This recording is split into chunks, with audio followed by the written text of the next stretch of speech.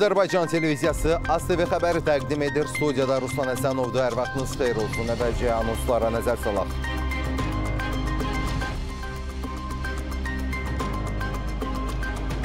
Ötən gün Ermənistan vətəndaşının Şuşa şəhərinin Daşaltı kəndinin yaxınlığında xidmət aparan Azərbaycan və Rusiya hərbi qulluqçularına qumbara atdığı ərazidə indi vəziyyət necədir? Ən son məlumatlar birbaşa bağlantıda. Vətən müharibəsinin başa çatmasının birinci il dönümü ilə əlaqədar Rusiya parlamentinin deputatları, ekspert və media nümayəndələri Şuşanın tarixi məkanlarını ziyarət etdilər. Türk Şurasının 8-ci zirvə görüşü dünya mətbuatının gündəmindədir. 44 günlük vətən müharibəsində əldə edilən şanlı zəfərin birinci il dönümü və daha Azərbaycan şairi Nizami Gəncəvinin 880 illik yubileyi İstanbulda qeyd edildi. İndi isə daha ətraflı xəbər verdiyimiz kimi Şuşa şəhəri yaxınlığında xidmət aparan Azərbaycan Silahlı Qüvvələrinin en saylı hərbi hissəsinin və Rusiya sülh məramlı kontingentinin hərbi qulluqçularına ötən gün əl qumbarası atılmışdı. İndi ərazidə vəziyyət necədir bu barədə məlumatı bizimlə Şuşadan birbaşa bağlantıda olan əməkdaşımız Elnur Tofiq çatıracaq. Salam Elnur, buyur, sən eşidirik. Salam Ruslan, sizi və bizi izləyən tamaşaçılarımızı salamlayıram. Bəli, biz ötən gün baş vermiş terror hadisəsinin törəndiyi yerdəyik, törədildiyi yerdəyik. Ötən gün elə bax bu dayandığımız yerdə, bu gördüyünüz barmaqlıqların o tayanda dayanan Ermənistan vətəndaşı, yəni Mercedes e, markalı avtomobili idarə edib və həmən ərazidə dayanıb qəflətən avtomobildən çıxarkən bax burada xidmət aparan e, elə kadrlardan görürsünüz ki, burada bizim hərbi qulluqçularımız xidmət aparır və məhz elə bu dayandığımız yerdə, bax buradaca xidmət aparan hərbi qulluqçularımıza e, tərəf demək e, RQD 5 tipli əl qumbarası atıbdır. Qumbaranın mən sizə yerini də göstərim. Bax e, əgər görürsünüzsə Bax bu barmaqlıqların sınmış yerlərini də görürsünüzsə, bunlar e, qəlpə yerləridir və e, elə əl qumbarasının düşdüyü yer də göstər e, göstərə bilərik sizə. Operatorumuz yaxınlaşsın və partlayışın məhz baş verdiyi yeri də sizə biz əyani şəkildə göstərək. Bu barmaqlıqların olması əl qumbarasının necə deyərlər, barmaqlığın bu tayına düşməsinə maneə törədibdir və partlayış burada baş verib. Xoşbəxtlikdən həyatını itirən olmasa da burada xidmət aparan hərbi qulluqçularımız bədən xəsarətləri alıblar, yaralanıblar və Rusiya sülh məramlarının da iştirakı ilə həmin şəxs terror hadisəsini törədən e, şəxs elə buradaca zərərsizləşdirilibdir. Aidiyyatı e, qurumlar tərəfindən təhvil verilibdir. İndi onun müqadiratı nə cür olacaq, necə olacaq bunun haqqında biz heç nə deyə bilmərik. Biz onu deyə bilərik ki, bu ərazi, e, bu ərazilər bizim ərazilərimizdir. Bura Azərbaycan torpağıdır və burada bu gün Azərbaycan əskəri, Azərbaycanın hüquq mühafizə orqanları həm belə deyək müdafiə Nazirliyinin həm daxili qoşunun, həm Azərbaycan polisi kifayət qədər xidmət apara bilir və xidmət qurur e, və burada artıq e, necə deyərlər, hərəkət də təmin olunubdur. İstər avtomobillərin buradan keçməsi, xüsusi rejimdə yoxlanılaraq Şuşa şəhərinə buraxılması təmin edilibdir və bir şeyi də sonda bunu da vurğulayım ki, bu gördüyünüz yoldan e, demək Xankəndindən Laçın koridoru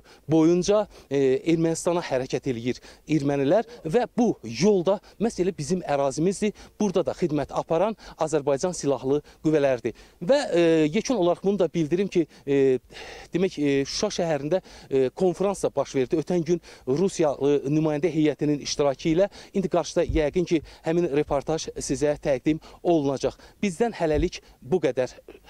Söz sizdədir. Ruslan. Təşəkkür edirik Nur ətraflı məlumata görə proqramımız davam edir. Türk Şurasının 8-ci zirvə görüşü Dünya Mətbuatının diqqət mərkəzindədir. Əlcəzərənin Əl-Şuruq qəzetində Türk dövlətləri arasında bütün yollar bu coğrafiyanın arteriyasına çevriləcək səlifəli məqalə dərc edilib. Məqalədə Azərbaycanın Türk Dilli Dövlətlər Şurasındakı uğurlu fəaliyyəti yeni adıyla Türk Dövlətləri Təşkilatının əhatə etdiyi bölgənin strateji əhəmiyyəti qeyd olunub.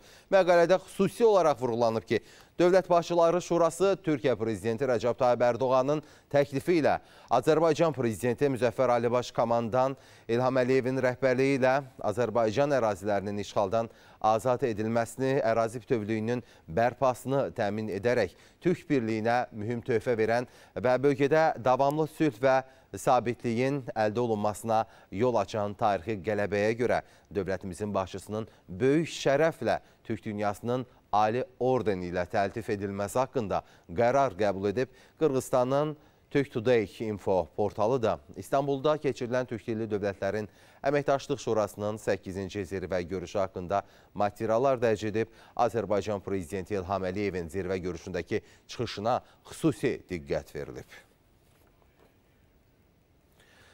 Zəfər günü münasibəti ilə Viyanada yerli ictimaiyyətin məlumatlandırılma tədbiri keçirilib. Şəhərin mərkəzində qurulmuş çadırda Ermənistanın Azərbaycana hərbi təcavüzü, 44 günlük vətən müharibəsi və Azərbaycanın öz ərazi bütövlüyünü bərpa etməsinə dair məlumatlar şəhər sakinlərinə çatdırılıb. Çadırın ətrafında isə Qarabağda erməni vandalizminə məruz qalmış mədəni tarixi abidələrin rəsmləri nümayiş olunub. Rəsmlərdə abidənin işğaldan əvvəlki və hazırki vəziyyəti əks etdirilib. Avstriya Azərbaycan Mədəniyyət və İş Adamları Dərnəyinin sədri Yardım Günəş çıxış edərək vətən müharibəsində ölkəmizin əldə etdiyi zəfərdən danışıb.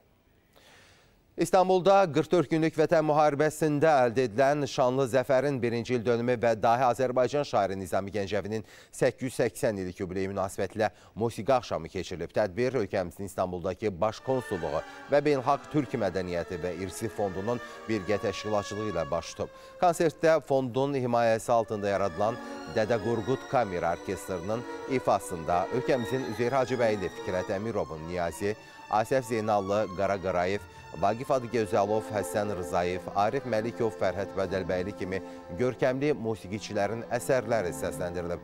Qeyd edək ki, musiqi gecəsinin bədii rəhbər və dirijor Azərbaycanın xalq artisti Yalçın Adıgözəlovdur.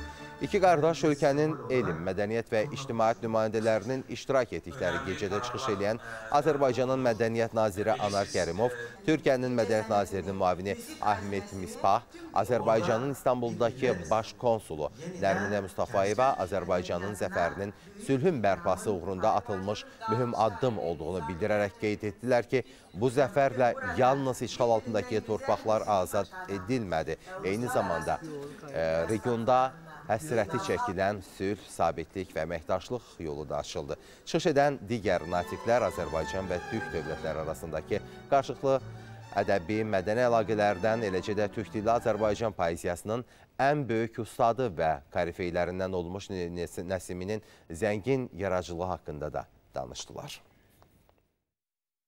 Bu ə, e, qədimlə bugünkü günün vəhdəti burada bu musiqidə, bu buradakı deməli bu e, konsertdə öz ifadəsini tapdı. Bilirsiniz, e, adam baxır və fəxr eləyir. Adam fəxr eləyir həm zəfərlə, adam fəxr eləyir həm də ümumiyyətlə Azərbaycan mədəniyyəti ilə, Azərbaycan e, e xalqının igidliyi ilə, Azərbaycan Respublikasının e, bərqərar olmağı ilə dünya ictimai ictimai birliyində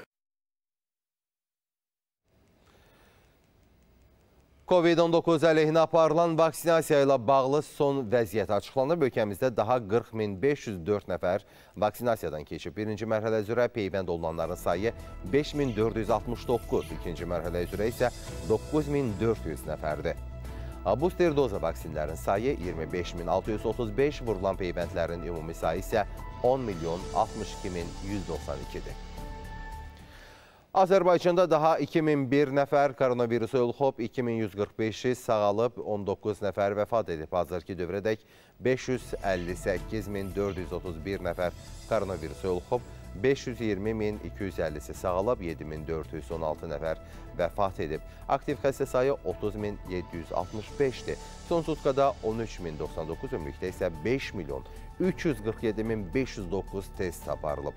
Məlumatı Nazirlər Kabineti yanında operativ qərargah yayıb. Dünyada indiyədək yeni növ koronavirus aşkarlanan insanların sayı 253 milyon 700 mini ötüb. Rəsmi statistikalara əsasən yoluxanların 5 milyon 111 mindən çoxu bu infeksiyanın qurbanı olub.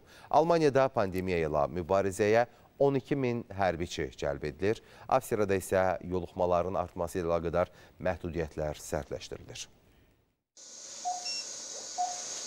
Almaniyada yoluxma sayının kəskin artması ilə əlaqədar Bundeswehr əlavə tədbirlər görür. İlin sonuna qədər ölkədə pandemiyanın dördüncü dalğası ilə mübarizəyə 12 min hərbçi cəlb ediləcək. Onlar revaksinasiya prosesi, müvəqqəti hospitalların yaradılması, həmçinin xəstəxana və qocalar evində ekspres testlərin keçirilməsində yardımcı olacaqlar. Avstriya hökuməti isə epidemioloji vəziyyətin pisləşməsi ilə əlaqədar qarşıdakı həftədə məhdudiyyətləri sərtləşdirəcək. Peyvənd edilmiş və xəstəliyi keçirmiş şəxslərdən kütləvi tədbirlərə giriş üçün koronavirusa qarşı testin neqativ nəticəsi tələb ediləcək. Bütün qapalı məkanlarda respirator maskaların taxılması mütləqdir. Qayda restoran və kafelerin heyəti və qonaqlarına da şamil edilir. Zalsburg və yuxarı Avstriyada isə sabahdan etibarən peyvənd olunmamış şəxslər üçün qapanma elan edilir. Adı çəkilən regionlarda vaksin olunmamış şəxslər evlərini yalnız ərzaq mağazaları və ya işə getmək üçün tərk edə bilərlər. Ticarət mərkəzləri və yaşa obyektlərinin qapıları onlar üçün bağlı olacaq. Digər ölkələrdə baş vermiş hadisələrlə xarici xəbərlər blokunda tanış olaq.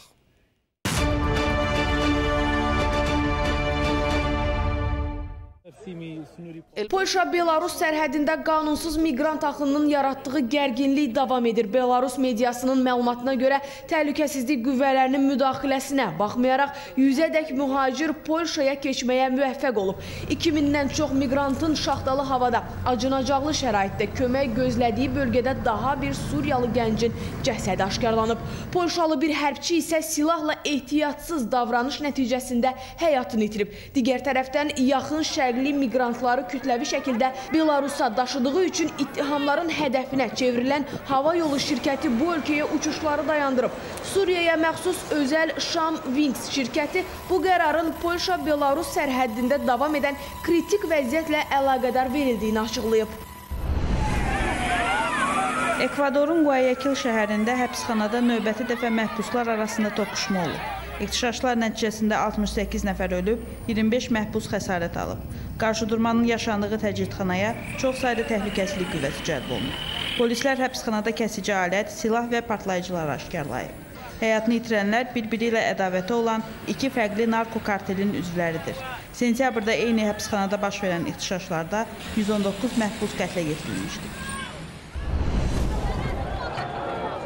Sudanda hərbi çevriliş əleyhinə nümayişlər səngimir. Paytaxt Xartumla yanaşı daha bir neçə şəhərdə keçirilən aksiyada polislə etirazçılar arasında qarşıdurma olub. İxtişaşlarda 5 nəfər həlak olub. Onlarla adam yaralanıb. Həyatını itirənlərin 4-ü güllə yarası ilə, biri isə göz yaşardıcı qazdan boğularaq ölüb. Dövlət televiziyasının məlumatına görə qarşıdurmada 39 polis ağır yaralanıb. Xatırladaq ki, Sudanda oktyabrın 25-də hərbi çevriliş baş verib.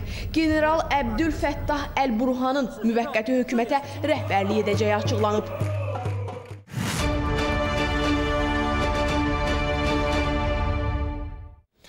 Təqdim edəcəklərimiz bunlar idi. Hadisələri hər zaman sizinlə bərabər olan ASTV xəbərdən və xəbərlərin növbəti saat 16 olan buraxılışından öyrənin və salamat qalın.